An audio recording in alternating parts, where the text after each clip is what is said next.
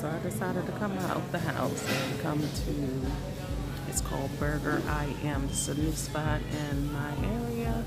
We have some really good choices. We got the salmon burger, falafel burger, some other burgers up there. Nice little spot. Who knows, you might have one in your area.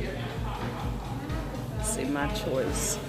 My choice. I got the falafel burger, and then my daughter, she got the aged beef burger. The strips, Anyway, it's a nice spot. uh, I don't believe so. no. It's a little different.